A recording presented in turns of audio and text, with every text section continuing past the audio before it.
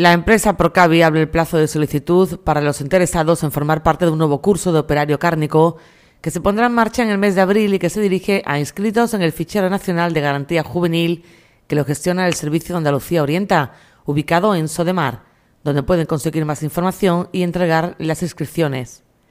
Con esta nueva convocatoria se admitirán y formarán prioritariamente a jóvenes que tengan baja cualificación, sean desempleados de larga duración o no hayan tenido acceso a su primer empleo.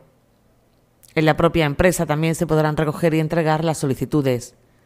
Unas inscripciones que deberán ir acompañadas de fotocopia del DNI, número de afiliación a la Seguridad Social o vida laboral, currículum vitae actualizado y certificado de inscripción al día en el Fichero Nacional de Garantía Juvenil.